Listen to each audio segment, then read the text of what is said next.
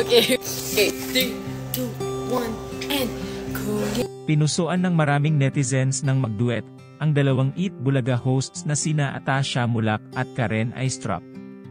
Kinanta nila ang hit song ni City, na may title na, Para sa Akin. Okay. Okay. Three, two, one, and kung ika'y magiging akin, ka na muling luluha pa. Pangako di ko lolokohin ang puso kong nagmamahal.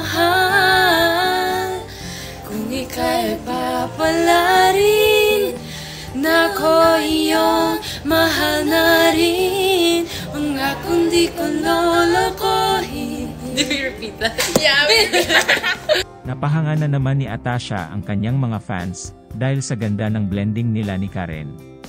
Talented, ganda ng boses ni Atasha. Beauty, brains and talented pa.